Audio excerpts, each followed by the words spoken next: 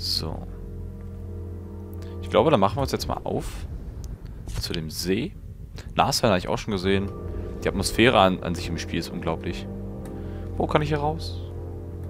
Da. So, und ich bin jetzt wirklich zufällig hier in diesem Unterschlupf gelandet. Also, gewesen bin ich auch noch nie. Klettern. Ah, ich kann aufs Dach. No Golden Path. Pergamin aus Savior. Das können wir entfernen. Propaganda zerstört. Eins von 150. Uh. Scheint so eine ganze Menge zu geben. Hier ist so ein kleines altes Dorf. Was ist denn da hinten? Oh. Was denn nun? Schon wieder ein Fähigkeitspunkt? Umgekippte. Die einzigartige Waffe Stormer ist jetzt am Handelsposten verfügbar. Mhm. Sehr, sehr interessant. Die haben sie hier umgekipptet. Ja. Oh. Fähige Pergaments Propaganda, wenn du welche siehst. Ja, ist ja gut. Welche Grenze habe ich übertreten? Ist das die Spielgrenze? Nee, die... Das ist ja komisch. Welche Grenze? Ich meine, ich kann auch einfach weitergehen. Hm. Und einen anderen äh, Turm, einen Glockenturm machen, oder? Hm, ich weiß es nicht. Wir dürfen da nicht lang, das heißt, wir gehen zurück. Die Stormer-Waffe, nö, gucke ich mir jetzt nicht an. Können wir hier durchklettern? Ja. So. Wie ihr sicherlich mitbekommen habt, ist es auch genauso wie in Far Cry 3, dass man kein Geld braucht, um die Waffen zu kaufen. Man schaltet sie durch das Freischalten der Glockentürme einfach frei.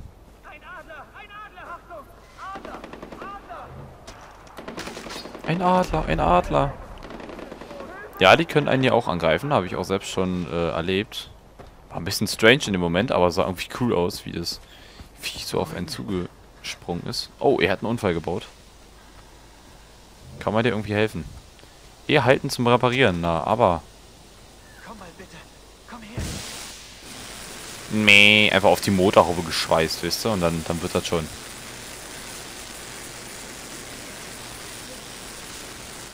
So, bitteschön.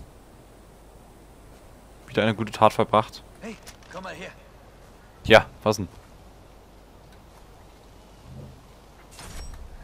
Oh, danke. Ich war sicher, dass ich sterbe. Ich schulde dir was. Ja, ja, alles gut. Von daher äh, ein bisschen blöd. Äh, mit dem Geld. Jetzt, wir haben jetzt auch gerade wieder ein bisschen Geld bekommen. Als Dank. Ich dachte, wir kriegen Karma. Schade eigentlich. Da seht ihr, ist Heilspritze automatisch hergestellt. Aber man kann mit dem Geld halt irgendwie null anfangen. Weil man eh alle Waffen kostenlos im Shop kriegt. Durch die, äh, Aussichtstürme. Das ist ein bisschen... Ja, ich habe es schon in der letzten Aufnahme erwähnt, in einem Part. Das ist leider so kein geschlossenes System in sich man weiß mit dem Geld halt irgendwie nichts anzufangen und das Geld häuft sich halt immer noch mehr an, weil man von Gegnern dieses unnütze Zeug kriegt, wie, da gibt es ja ganz verschiedene Dinge. Irgendein Handy oder ein Magazin. Karma-Ereignis, da haben wir es schon. Zufälliges Ereignis, wo Revolutionäre angegriffen werden. Wenn man denen hilft, dann kriegt man Karma. Los geht's.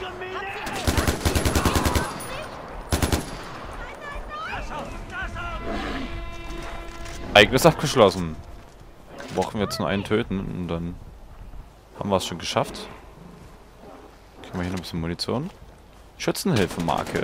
Die kriegt man dann irgendwie immer. Oh, was ist hier? Oh, ein dickes Na... Oh, ein Nashorn. Uhuhu.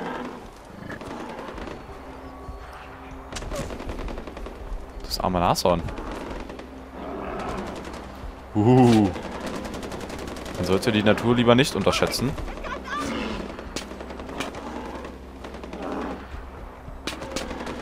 Das gucken wir uns mal an. Oh. Wie es die Leute hier wegkickt. Alter, sind die tot? Ich will ihm auch nicht zu nahe kommen. Oh. Oh, okay, okay. Jetzt sind wir dran. La la la la la. Wo ist es hin? Ich sehe es nicht. Da hinten. Oh, es nimmt das Auto auseinander. da äh, helfen, glaube ich, nur ganz äh, schwere Geschütze. Alter. Lol. Wie die einfach alle instant tot sind.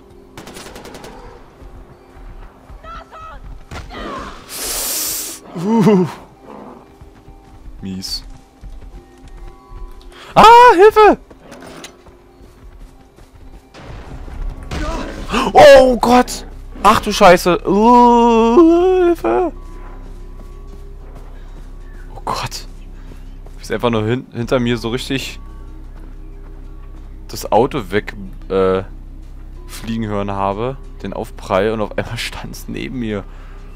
Alter! Da hatte mal kurz mein Herz Kasper gehabt, aber zum Glück alles gut gegangen. Puh, ist ja richtig was los hier. So, und ich glaube, wir sind da. Ja, wir sind da. Sehr gut. Seht es euch an. Ist das nicht wunderschön? Und ich darf euch mal was verraten. Als ich heute an diesem See war, also ja, heute am Tag dieser Aufnahme, bin ich irgendwie von dort oben da runtergekommen.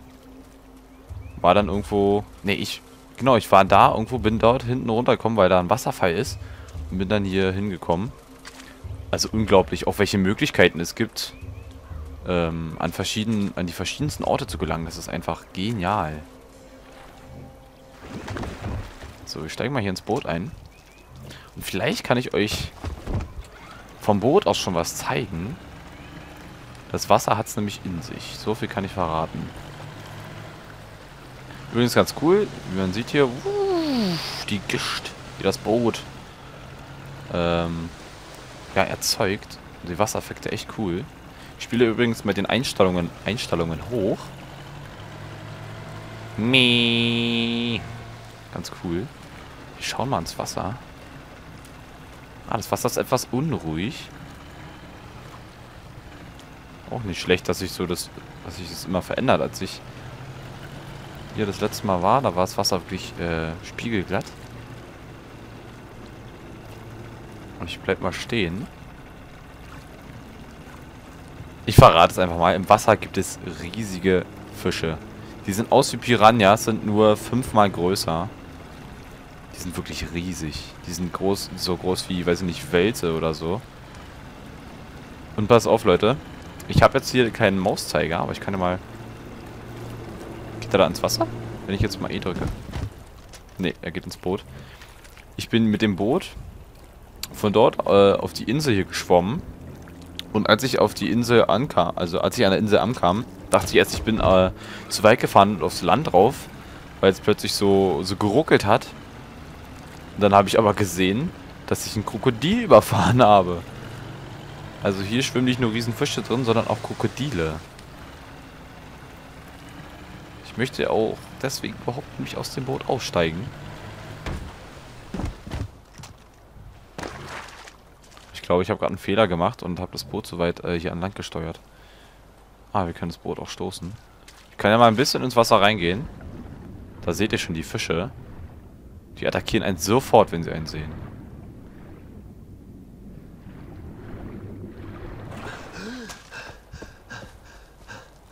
Ah, jetzt wird's dunkel. Das ist ja cool.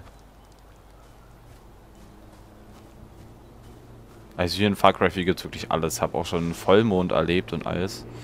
Unglaublich. Und hier gibt's nämlich auch ein Special zum Sammeln. Hier gibt es, wenn es die, das Mausrad jetzt zulässt, wer es weiß, mein Mausrad ist ja kaputt, die Maske von Yalung. Suche dieses Gebiet sorgfältig nach der Dämonenmaske ab, die von einem Serienmörder hinterlassen wurde und entferne unter oder zerstöre sie. Du erhältst XP. Problem ist nur, dass äh, das ja so im Wasser ist und ich habe ja gerade erzählt, was wir dann im Wasser alles so vorfinden. Das sieht ja geil aus. Können wir es auch... Nee, so ins Wasser treten können wir es nicht. Schade. Ja, jetzt habe ich mir fast gedacht, dass wir mit dem Boot jetzt hier nicht wegkommen, oder? Doch, doch, kommen wir. Ah, sehr gut. Wenn nicht, hätten wir uns das Boot eingeklaut. Und den Leuten da rechts.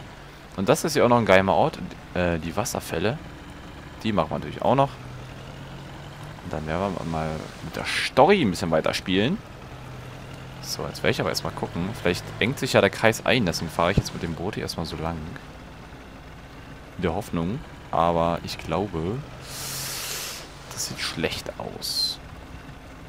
Wir können doch jetzt da nicht runtertauchen, wenn hier 3000 Fische sind. Wie soll denn das gehen?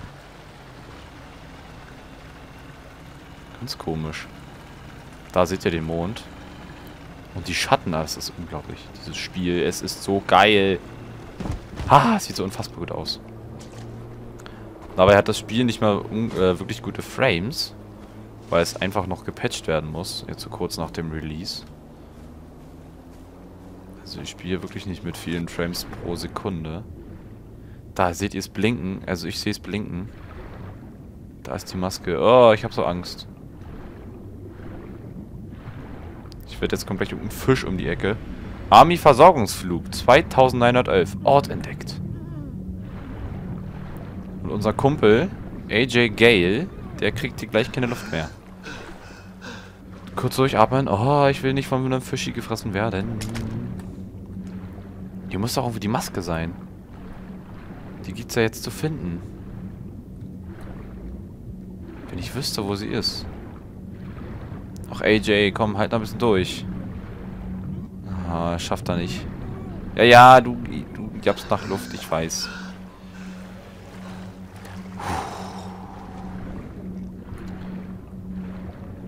Wo ist die Maske? Au, au, au, au, au! Du Drecksvieh! Lass mich in Frieden!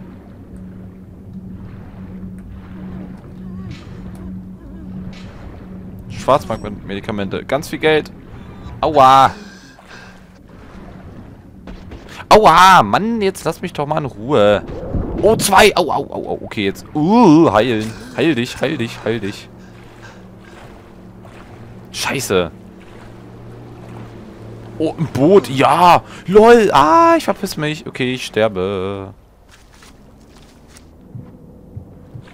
I'm dying here. Oh my god. Oh my gosh.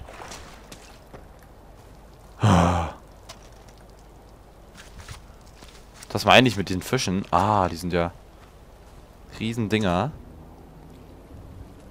Verdammt nochmal.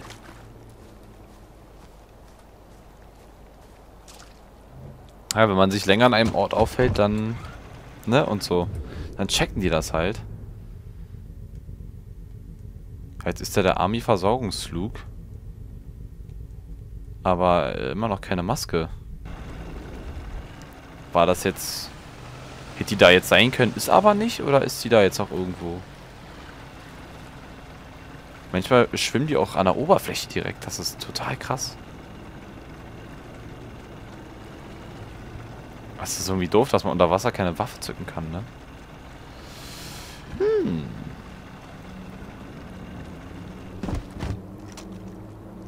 Ach, Mann, oh. Wenn die jetzt wenigstens an der Oberfläche wären und ich irgendwie einen abschießen könnte. So, ich, ich gucke jetzt gar nicht nach links und rechts. Ah, da ist er. Du sollst die Maske nehmen, Junge. 1 von 55. Noch zwei bis zur nächsten Belohnung. AJ, raus aufs Boot, rauf aufs Boot. Oh, Fische. Ah, Mann, da hat man immer Angst. Und Paranoia. Eine Schützenhilfemarke, die wir jetzt irgendwie öfters bekommen. Was auch immer das wohl bringen mag.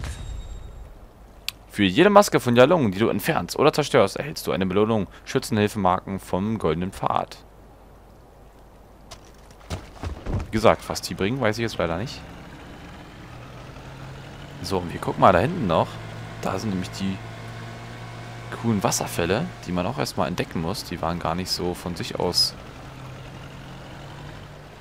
sag ich jetzt mal, hier im Spiel drin. Ich weiß allerdings nicht, wie ich da jetzt hochkomme.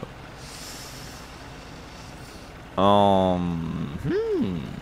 Bin da jetzt äh, runtergesprungen, aber wie kommt man da jetzt hoch? That's the question I have, you know. Dann driven wir mal ganz smooth darüber.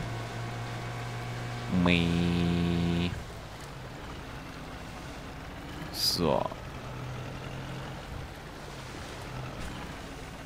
Steigen wir mal aus. So, hier haben wir... Was ist das? Eine Art... Gott, sind das Opfergaben hier? Hier liegen die Leichen ja noch so einfach verstreut rum. Und wir haben auch hier wieder ein Tagebuch. Noch eins bis zur Belohnung. Können wir hier rein? Lass mich rein! Schon nicht. Die Kisten plündere ich jetzt nicht, weil äh, wir eh mit Geld voll sind. Fähigkeiten, ja, ja. Weil wir mit Geld voll sind und alle möglichen. So, ich weiß jetzt leider gar nicht, wie wir zu den Wasserfällen kommen. Ah, ich sehe schon, wir müssen den Pfad hier entlang. So, und dann können wir doch mal kurz Fähigkeiten. Wir haben jetzt wieder zwei Fähigkeitspunkte. Könnten jetzt, ja, ja, ist ja gut, Elefant. Äh, ein viertes Gesundheitsfeld uns machen. Äh, Heilspritzen erneuern. Vier deiner Gesundheitsfelder bringt natürlich jetzt noch nicht so viel, wenn man nur drei hat. Die Geschwindigkeit, mit der du Dinge reparierst. Ah, nee, reparieren brauchen wir nicht. Du, äh, achso, wir ernten doppelt so viel Blätter beim Dingens einer Pflanze. Beim Ernten einer Pflanze. Nahorn. Na, Nahorn, genau, ist klar. Tiber hat halt wieder ein Deutsch, das ist unfassbar. Nashornhau, du erleidest weniger Schaden durch Feuer und Explosionen. Hm, eher durch Schüsse, war, wäre irgendwie besser. Elefantenreiter. Halte E, um auf einem Elefanten zu reiten. Stürme dann mit Shift los und zerschmettere Gegner mit F. Ich glaube, das machen wir, oder? Klingt irgendwie wahnsinnig cool. Hier hätten wir noch den Tod von unten. Aber, äh, das habe ich, da habe ich auch ein Gameplay gesehen. Das gab es, glaube ich, auf der E3 dieses Jahr. Elefantenreiter. Elefantenreiter klingt wahnsinnig cool. Ich weiß nicht, wann das zum Einsatz kommt. Aber wenn, dann haben wir es. Können das gleich nutzen. Meh. Ich finde die Geräusche mal lustig. Oh, Elefantenreiten Tutorial. E halten, um auf einem Elefanten aufzusitzen oder von ihm abzusteigen.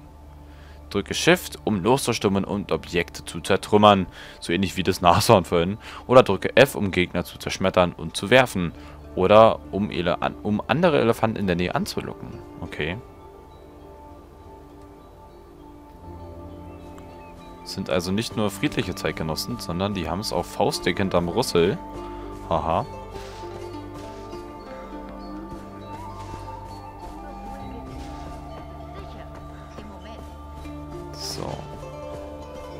Dann machen wir uns jetzt auf. Bei Sonnenaufgang und Tagesanbruch. Ah, oh, seht euch die Berge an. Wunderschön. Zu den besagten Wasserfällen. Der Weg dahin ist echt cool. Ich finde die Atmosphäre im Spiel so genial. Jetzt schon. Wenn hier so einfach Leute langlau... Was ist denn heute los? Ich fasse es ja nicht. Wenn hier einfach äh, Leute langlaufen, wie gerade eben, so mit Wanderstöcken. Überall hast du diese Wimpel, dann die Tiere, die du jagen kannst. Dann die asiatische Musik, wie sie jetzt gerade im Hintergrund ist. Die Geräusche, die die Tiere machen, alles. Die wunderschöne Landschaft. Alles wirkt so friedlich und trotzdem läuft man mit einer Waffe rum. Das ist fast ironisch.